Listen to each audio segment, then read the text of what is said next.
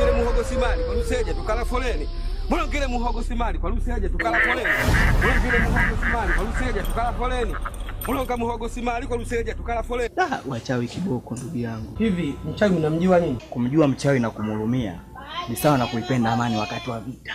Dunia leo ilivyobadilika, lazima mtu uwe mmoja. Yaani mimi mtu aniloge alafu nimjue. He, nazaa naye. Si. Hizi mara mbili mume wangu amenivumilia, na hii tena ikiwa hivyo, nadhani nitaipoteza ndoa yangu kabisa kabisa. Watu husema hivi, ujinga pa kwenda lakini si pa kurudi.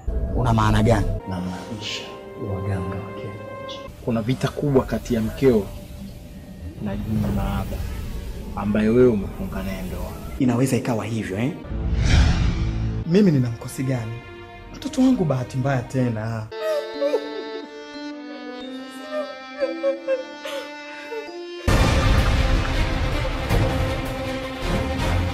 Na watoto wako unawatoa kafara wewe mwenyewe ili uongeze mali. Utajiri mwingine ni mateso tu.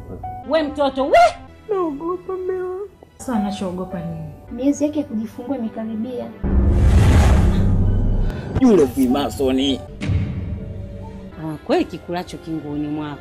Nikaona yule bwana babake ni mchawi na anamulia watoto. Safari hii nitatoa mama na mtoto pia. Ina maana bibi anakula ajukuze. Nimebakiza watoto wawili tu. Hao ndio ndugu zangu wa pekee nilionao. Mshirika gani unakuwa na mambo ya kijinga namna hiyo? Mwanangu yuko tayari kuoa hata sasa. Kikwazo kazi tu. Bi mkubwa yeye anataka mimi ni Mtego ulioniwekea umeshindwa kunasa. Mtoto mdogo kama yule hawezi kukwamisha mambo ya watu wazima. Nashukuru sana kwa kuitikia wito wangu. Safari hii nitatoa sadaka kubwa kuliko nilizowahi kutoa.